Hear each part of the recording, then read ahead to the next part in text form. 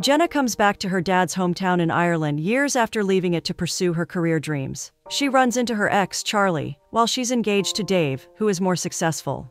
Jenna welcomes a couple on their honeymoon to Dalkey's O'Hanlon's Inn. Her boyfriend, Charlie, has a surprise for her last day in Ireland. She expects something more creative than flowers and chocolates, and he doesn't disappoint. He makes sure she has her favorite Irish snack, Krog's Crisps. Jenna's to do list just involves saying her goodbyes now. Charlie convinces her to take a break and brings her to the surprise party. Charlie has planned this with his father, Patrick, who is also Jenna's employer. Jenna's best friend, Catherine, offers to bake anything special, so Jenna will be tempted to stay back. Jenna gets called for a farewell speech and thanks everyone at the inn for the last year of her internship. She has felt at home, and she thanks Patrick for being an amazing mentor. She also feels grateful to Charlie, who does so much for her. Well, he is perfect. Charlie and Liam perform a song and are gearing up for their Europe tour in a week. Jenna hasn't heard back from the job she applied for in Ohio yet. She knows the training program is competitive, but hopes for the best. Jenna asks Catherine to stop drooling at Liam and make a movie. She drags Catherine along and informs Liam that they both like each other. Jenna gifts Charlie a photo of them with Patrick, and they hang it on the wall. Patrick is glad to have a part of her always at the inn. Patrick thinks of her as family and asks her to keep visiting. Dave Jordan from Pugsley Hotels offers Jenna the job she applied for, and she accepts it. Charlie shows Liam a ring he bought for Jenna because he doesn't want to lose her. Liam reminds him that she's leaving, but Charlie seems sure they can make it work. Let's hope they do. Charlie brings Jenna to Bray Head Cliffs and knows she's thinking about her dad's village. Jenna hasn't had the courage to visit it since he passed away, but Charlie is sure she can do it later. Jenna has loved her time in Ireland and knows she's going to miss Charlie. He's about to take out the ring box, but puts it back when she informs him about joining Pugsley. They decide to figure out what they have as they go. This surely sounds convincing. Five years later, Jenna is manning the desk at Pugsley. She's covering it for Peter since she's now managing the hotel. She loves the promotion, but misses the personal interaction with guests. Peter wants her help with a leak in one of the rooms, and she loves the challenge. She examines the hairline crack and promises to get it fixed in an hour. She asks Peter to take Evelyn and Paul to the restaurant for a free meal in the meantime. She can tell Paul is from Ireland from his accent. That's a nice throwback. Paul met Evelyn at a conference in the 70s and asked her to marry him. They've been best friends and business partners ever since. Aren't they perfect? Dave, who is Jenna's boyfriend now, is back from Sydney. He's still flying out to Toronto the next day. They had a trip planned to Botanical Gardens, but he promised to do that next week. He has been managing international clients, which makes him feel more established and settled down. She informs him about Paul and Evelyn, and he feels like she saw a glimpse into their future. She decides to head home early and invites him for dinner. Jenna is enjoying her favorite Irish crisps from the box Patrick sent over. They were her dad's favorites, and it was his birthday that day. It has been 10 years since he passed, and she's watching their favorite home renovation show. She remembers redoing her grandpa's place in Ireland, which was the last project they worked on together. Dave gives her some Irish themed gifts to surprise her. Corporate wants Jenna to make a pitch about opening a Pugsley hotel in Ireland. They're impressed with how much she has improved guest relations at the hotel and view her as a rising star. An investor group in Dublin is buying an old hotel and redoing it. She needs to convince these investors that they should choose Pugsley. He has already bought her plane tickets. He has also arranged for her to stay a few days in Dalkey before Dublin, so she can meet her friends. That seems almost perfect. He also proposes to her, and is thinking of Ireland as their destination wedding spot. Liam feels he and Charlie are playing better as they get older. He used to chase a trip to different parts of the world, but now he prefers to be among his people in Ireland. Jenna informs Catherine about her trip to Ireland. She hasn't visited in years because Liam and Catherine eloped instead of having a proper wedding. Catherine hopes Jenna can attend the Heritage Fest at O'Hanlon's. Jenna has a meeting in Dublin at that time, but is glad she'll get to stay with them a few days earlier. Jenna tries to figure out the angle for her presentation, but fails. Molly at the train station wonders if she's in Ireland on business. Molly is visiting family and an old friend in Dalkey, so Jenna is glad they're heading to the same place. Since Jenna is hoping for some inspiration, Molly assures her that good things will come for her. That's probably the sweetest stranger. Jenna surprises Catherine by arriving a little earlier. Catherine is working on too many dessert samples for the festival. She has found Patrick's old family recipes, so the whole town can enjoy them. When Liam meets her too, she announces that she's engaged to Dave. While Catherine is excited, Liam doesn't look too happy. I wonder why. He still congratulates her, and Catherine hopes they finally get to meet Dave soon. Jenna knows it has been hard for Dave since the transfer, but is sure he will get along with them. Let's hope so. She realizes Liam and Catherine are the only ones on staff and share duties at the inn. She also feels she made the perfect match with them. She surprises Patrick at the front desk, who is glad Charlie has also joined him as a new member of the staff. Charlie and Jenna seem awkward but are cordial with each other. There's something we're missing. He is glad she's successful at Pugsley, which is what he always wanted for her. Charlie is now running the inn with Patrick. He notices the engagement ring and pretends to be happy for her. Jenna claims Dave is a great guy, but doesn't want to brag. Well, this is awkward. Patrick forces her to have dinner with them since it's been a while. Jenna feels Patrick is a superhuman, since he always cooks and handles the inn. Patrick has stepped back a little since Catherine took over as the head chef, but is still helping a lot with the Heritage Festival that weekend. She feels bad she can't make it because of the meeting. Patrick explains that this will be his last season. He's finally retiring after four decades. When Patrick leaves them alone, Charlie is still processing that she's getting married. It would be better if he didn't do it out loud. She understands it's weird for him, but he assures her what they had was in the past. Doesn't seem like it. They discuss Patrick's cooking and how he made Jenna his famous stew when she was homesick one day. She also remembers how he made them the best fish and chips from a catch he made that day. Charlie remembers this was right after their first date. They hiked in the rain and were drenched when they got back. That memory is not awkward at all. Charlie shares that he came back for a bit, but it has been five months. When Patrick decided to slow down and retire, Charlie knew he had to help out. Jenna can tell the inn is struggling because of a lack of guests, but Charlie keeps assuring her he has it under control. Liam almost trips on the stairs, which points out a huge flaw in Charlie's claim.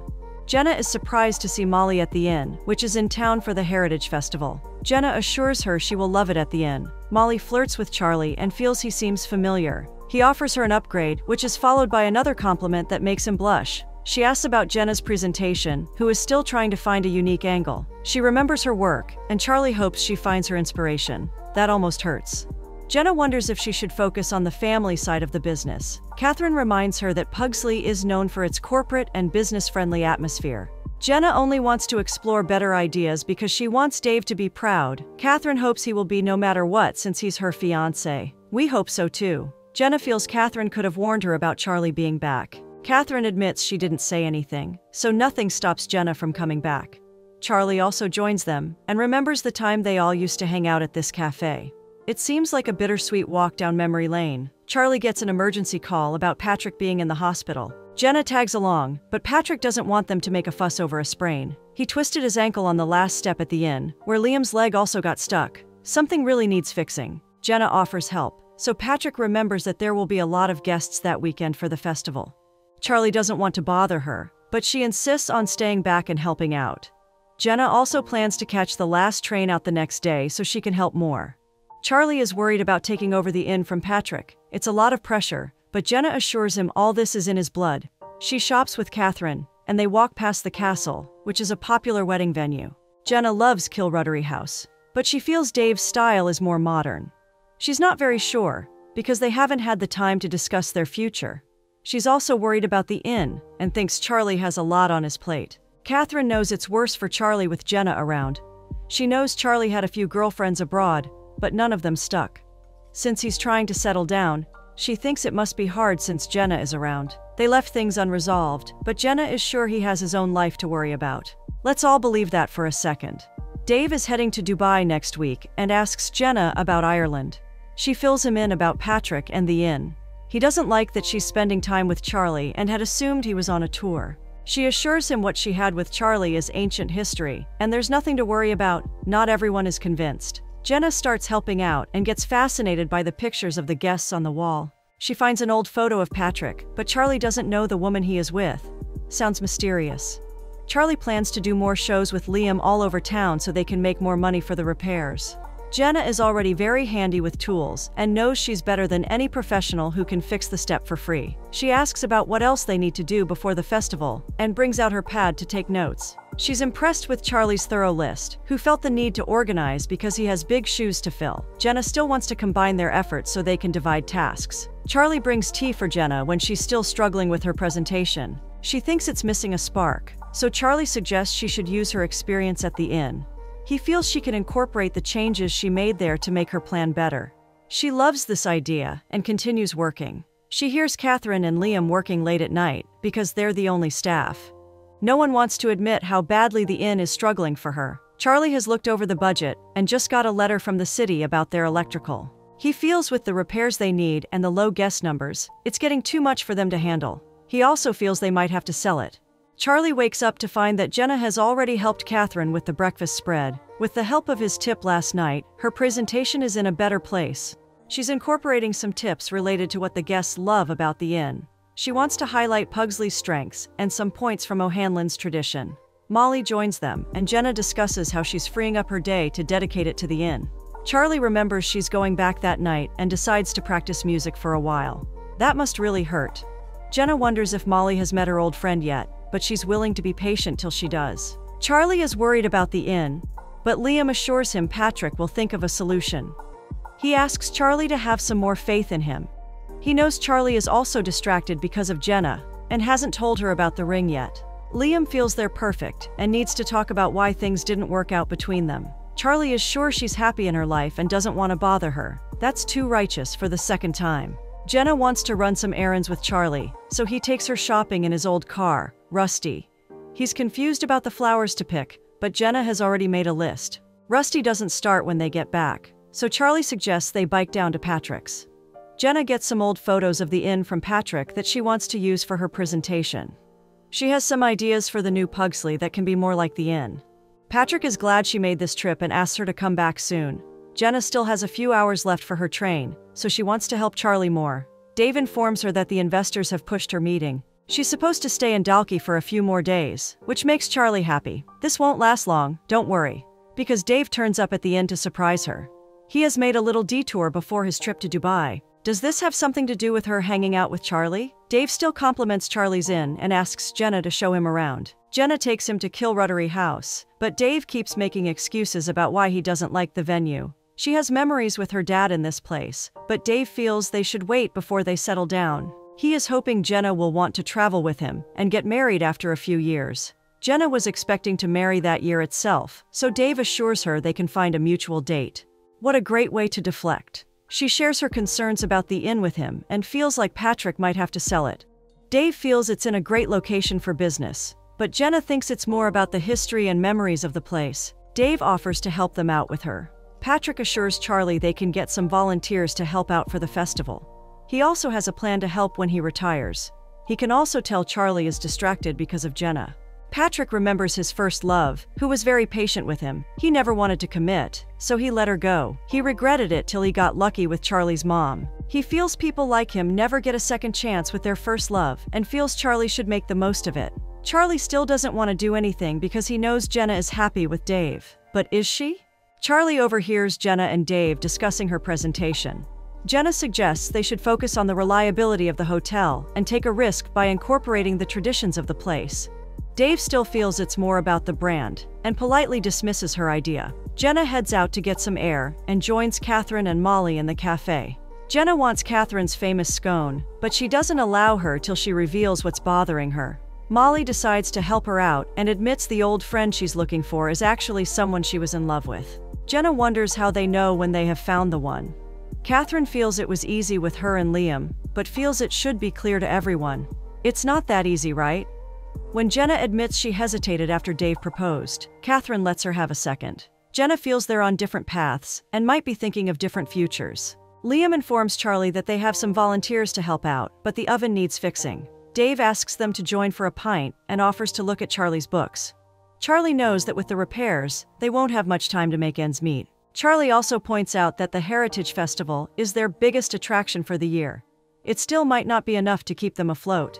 Dave offers to buy Charlie out since he thinks it will help all of them keep their jobs without worrying about repairs. Patrick wants to consider Dave's offer because he doesn't want Charlie to inherit a burden. Dave fills Jenna in about his conversation with Charlie, who rejected his offer. Jenna knows buying the inn and creating another Pugsley is not a solution. The inn is all about the family and its history. Where have we heard this before? Dave understands he doesn't have a connection with the place like she does. He also realizes corporate wanted her for a reason and asks her to go with the kind of pitch she wants. He also apologizes for overstepping, which she appreciates. That was easy. Dave knows something more is going on because Jenna throws herself into a project when she's processing her thoughts. Jenna admits that it bothered her when he offered to buy the inn without talking to her first. That's making her think they have huge issues with communication and haven't discussed their future at all. What a surprise. She loves that Dave is passionate about traveling the world, but she doesn't want to be on the move her whole life. Dave admits he proposed after the promotion because he didn't want to lose her. He assumes she would want to travel with him too. Jenna insists a forced engagement isn't good for either of them since she's looking to find her roots in something permanent. She gives him back the ring and peacefully breaks it off with him. Well, that is some development. The lights go off in the middle of Jenna's work, and Charlie knows the fuse needs replacing. It might take a few hours to fix, so Liam has arranged for a coastal excursion for the guests. Jenna forces Charlie to take her help because she is sure the inn is in trouble. When the lights don't work, Jenna offers to get appliances from the hardware store. Charlie suggests she should spend time with Dave. She informs him about breaking things off with Dave, who is on a flight to Dubai. Don't try to look too happy, Charlie. She still doesn't want to discuss it, so Charlie gives her space. Catherine needs help in the kitchen, so they join her. Charlie accidentally drops flour on Jenna, which leads to a full on flour fight in the kitchen. That's surely very original. The only thing left on Charlie's list now is getting new guitar strings for his show the next day. Liam offers to cover the desk. Charlie hands Jenna a bag because there's a bit of a hike where they're headed. Sounds like fun. They hike to Flynn's castle where her family is from. She's glad he remembered and brought her there. They get lost on their way to find Rusty, and Charlie doesn't get any service to figure out where to go. Jenna spots her family's farm, where she fixed her grandpa's house with her dad, Jack. Charlie suggests they should ask someone for directions. Gerald offers help, but he also turns out to be Jack's cousin. He invites them in for tea with his wife, Alice. They bought the house years after Jenna's grandpa passed away, and it felt like home instantly. Jenna clearly remembers fixing it with Jack, who wanted to make sure it stayed intact for generations to come. Gerald remembers how Jack was known as the Jack of all trades since he was young. How creative. Alice was friends with Jack too, and she met Gerald while they hung out at Jack's place as teenagers. Gerald remembers the time Jack told him that Alice was perfect for him. He pictured them together forever and asked Gerald not to mess it up. Jenna finds a photo she took of the garden when they finished the renovations. She remembers Jack claiming it was his favorite project since he had her help. She always thought it would be too hard to come back to this house. She also knows she wouldn't have if it weren't for Charlie. Who is Mr. Perfect now? Gerald asks her to keep coming back since she's family. They find Rusty conveniently on their way out, and Jenna knows Charlie must have arranged this meeting. She knows he's familiar with the land, and there's no way he actually got lost. She also knows he scratches his head when he's lying. He admits he might have known about Gerald and Alice, and nudged them in a different direction. She hugs him because she's grateful he helped her feel more connected to her dad. Charlie is all dressed up for his show, and Molly insists Jenna needs to tag along too.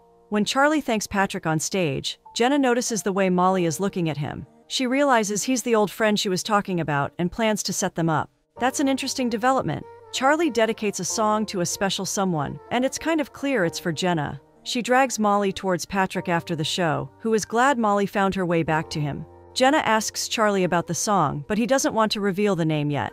He finds the music shop, while Jenna decides to window shop for a bit. She finds some rings she's interested in, but Charlie doesn't want her in the store. There's a good reason, I'm sure. Martha recognizes Charlie, but he pretends she knows him since it's a small island. Jenna asks about some rings, which reminds Martha of the emerald one Patrick bought for a woman's birthstone. This makes them awkward, and they decide to leave. Jenna meets Catherine before heading back to Dublin and discusses the ring with her. Catherine already knows about it because Liam tells her everything. Catherine also knows that Charlie broke it off with Jenna because he didn't want to stop her from living her dreams. He knew the long distance wouldn't work and didn't want her to make a tough choice. That is too sweet. Jenna feels overwhelmed and unsure now because being back in Ireland has brought out a lot of complicated feelings. Catherine remembers what Jenna told her years ago about how she would have a perfect career.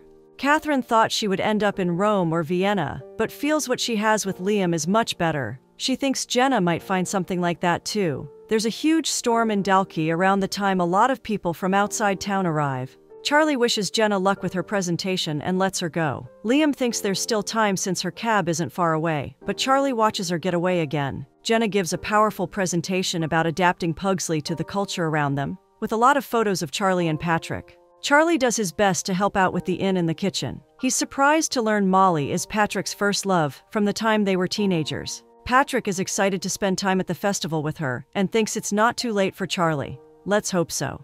Jenna informs Catherine that her pitch was a success, and they're already planning a Pugsley in Dublin. She wants to come back to Dalkey and is planning to catch the last train.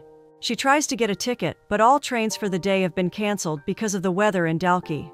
What a setback. Charlie shows Liam that he bought tickets to Columbus for the next day, so he can try again with Jenna. They've managed to make all the arrangements for the festival and are hoping for clear skies the next day. Jenna arrives at the inn too and offers to help Charlie at the desk.